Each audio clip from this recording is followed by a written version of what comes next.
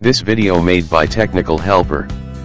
If you are new viewer on this channel then subscribe this channel for more free tutorials.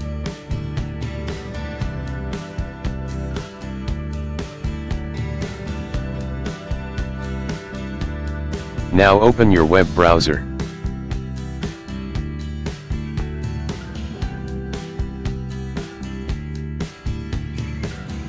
Now search GNOME extension.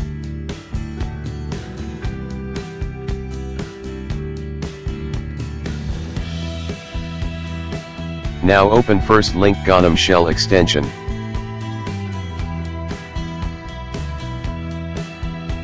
Now allow this site.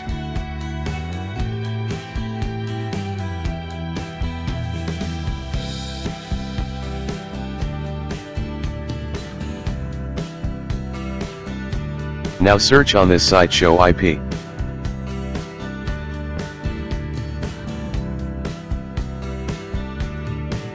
Now open show IP.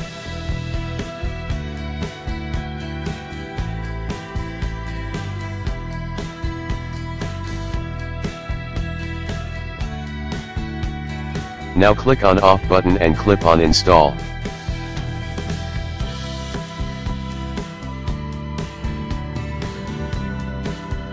Now your IP is available on your upper bar in Kali Linux. Select your IP that you want to show.